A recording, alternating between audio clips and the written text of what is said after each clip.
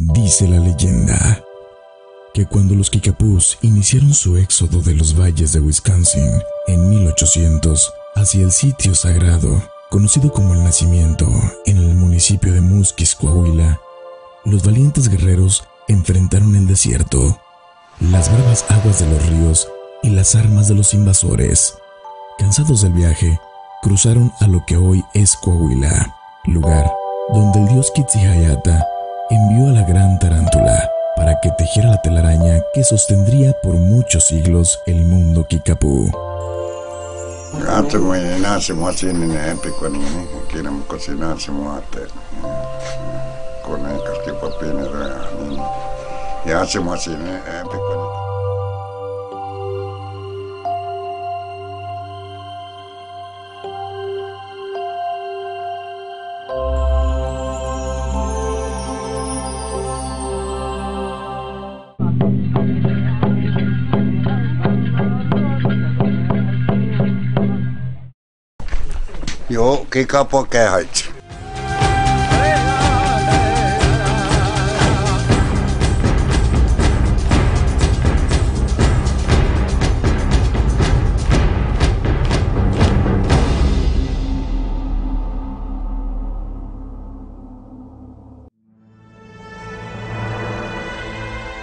Desde hace siglos, la estructura social de la tribu se mantiene vigente. Cuenta con un jefe espiritual que a su vez es el sacerdote, el hombre sabio y justo. Chacoca Ánico, cuyo nombre hace honor a la valentía, el que puede enfrentar a muchos oponentes. Piace, una cadera de piace que me suena que vienen a cuello, y yo está así que, una frase tapa así yo, se me toca. Actualmente tiene 82 años. Dice estar viejo y no tenerle miedo a la muerte.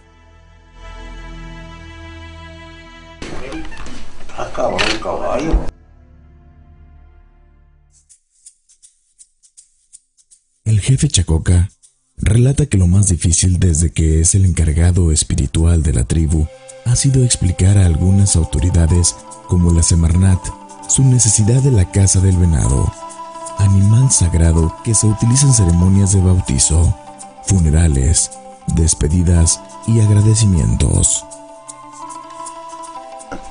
Es que se que pasa que de aquí nana, que que pone agua. Pame que cuino saca que se tía. Bueno, me osa me cosa aquí que no bueno me también. Saca que que está agua. Eh, que que pone de. Hasta que Uchimena que curtir la piel de venado. Para nosotros el venado no es un desperdicio. Cada cosa que sale del venado se, se usa. Les va a enseñar cómo se, se suaviza la... Esta ya está pre preparada. Se utiliza el, el seso para que se suavice. Es quitarle el cuerpo cabelludo, se queda nomás la capa, la del medio. Pero tienes que tener cuidado porque si se te seca, lo vas a tener que volver a remojar. Está du- se pone duro.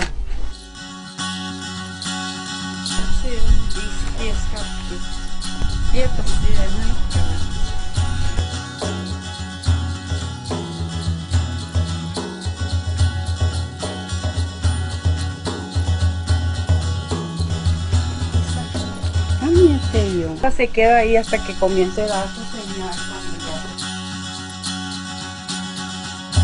De ahí mismo salen las zapatillas de la piel de venado. Es piel de venado. 100.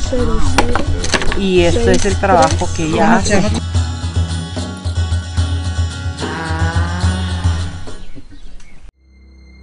Cerca de 900 familias integran la tribu.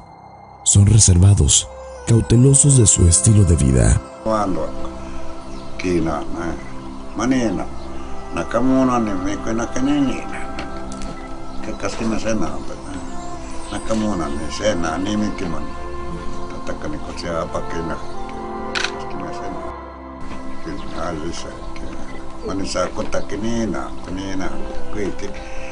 Kas kita kami ni ni ni si ya kaapa tamo kue paita na to tamo kue tata kiwi no ni kuini si de kita na to tamo kue atte paita na to tamo kue kas katsi mu kue kas kiale atte kuini kas kato tamo kue na to tona tuossa paskisikin kelmaa. No cumples. ¿Qué día? Ya pasó. Estamos bautizados a, nuestra, a nuestro modo, un nombre especial que nos dan. Ya para movernos, para que nos conozcan, este, ya agarramos un el nombre, nombre, castellano, sí. sí.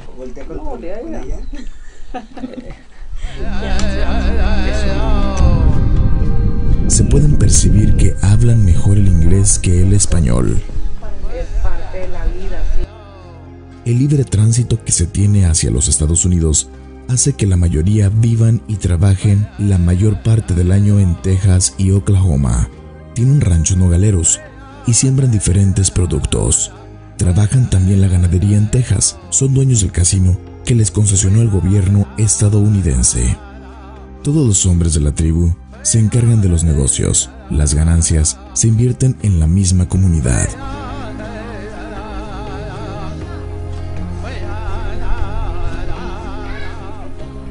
Trabajen y vivan la mayor parte del tiempo en Estados Unidos, su centro ceremonial está en Coahuila, a donde deben venir a cumplir sus deberes con Kitsi Hayata.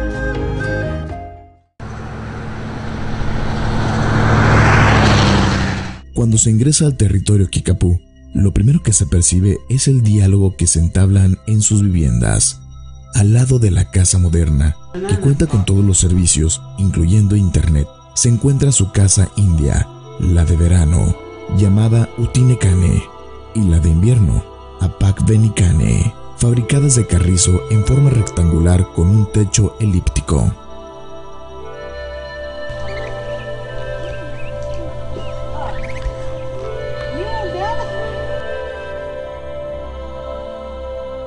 Al interior de la casa india no se permiten visitas foráneas. Celosos de sus tradiciones y costumbres, protegen su privacidad. Sin embargo, el jefe Chacoca explica que en su interior están las camas hechas de varas de madera delgada sostenidas por troncos gruesos. Los padres descansan en la parte izquierda, vigilantes, mientras que los otros miembros de la familia duermen en la parte derecha. El lado oeste de la casa india es sagrado. Allí habitan los espíritus. Por respeto a ellos, al interior no se debe cepillar el cabello, rasurarse, cortarse las uñas o comer. Más que una casa, es un templo. Aun cuando el flujo migratorio de la tribu de los Estados Unidos es permanente, regresar a el nacimiento es regresar a la casa, cumplir con las promesas al dios Quetzalcoatl y a los espíritus, cazar el venado, danzar en torno al fuego eterno y agradecer a la tierra su sabiduría. Cuando se ingresa a la casa del jefe espiritual de los Kikapú, se aprecian colgadas con jerarquía y respeto las imágenes de algunos antepasados, hombres de rostro duro y piel roja con grandes penachos de pluma de águila. Las fotografías de Emiliano Zapata y Pancho Villa comparten un espacio en la repisa del jefe, con el decreto enmarcado donde el presidente Benito Juárez le cede los derechos sobre el nacimiento. Fotos con gobernadores, alcaldes y políticos de ambas márgenes del río Bravo descansan en las mesas de la casa moderna de Chacoca.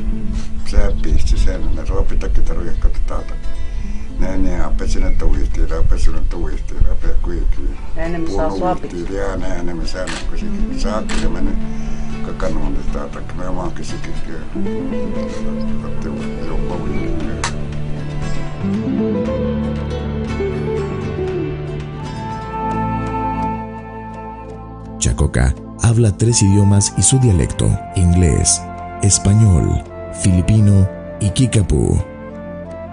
Al igual que muchos otros dialectos, el de los kikapú proviene de la familia algonquiniana, usada por la mayoría de las tribus que habitaban la Unión Americana. Es una lengua exclusiva para comunicarse entre ellos, y su enseñanza provino directamente de su dios Quetzalcoatl.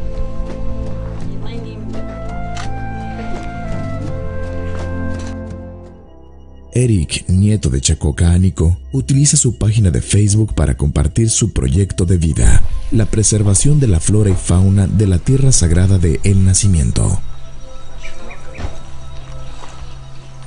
Esperanza. Acá se va a hacer nuestra, nuestra reza. Nosotros quiero, comp- ya compramos otra tierra, ¿verdad? Quiero le regalar todos los animales domésticos para restaurar la naturaleza aquí.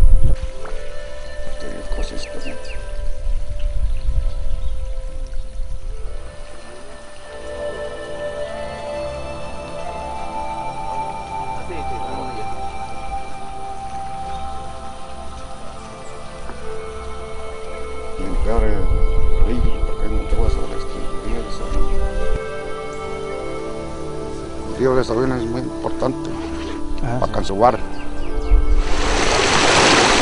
Me gusta la naturaleza, está bonita, en paz, serenidad. Y se le creación del creador,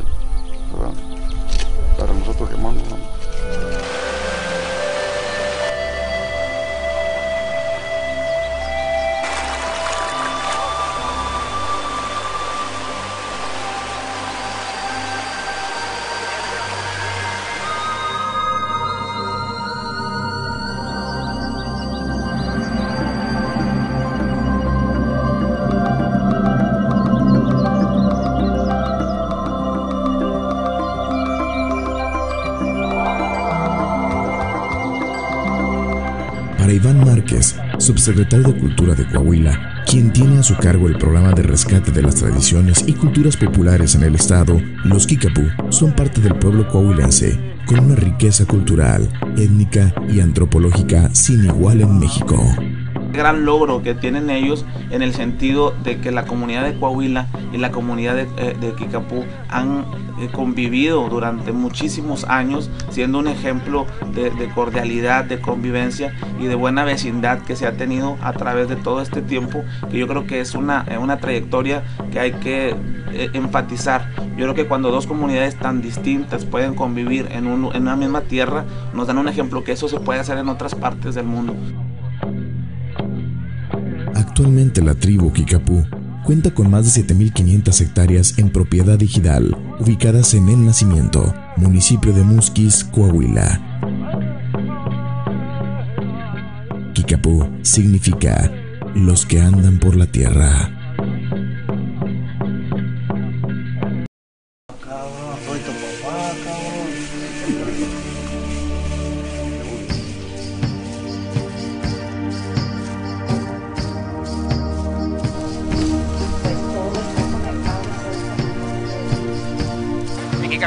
Le llama el agua? ¿Cómo? ¿Y a la tierra?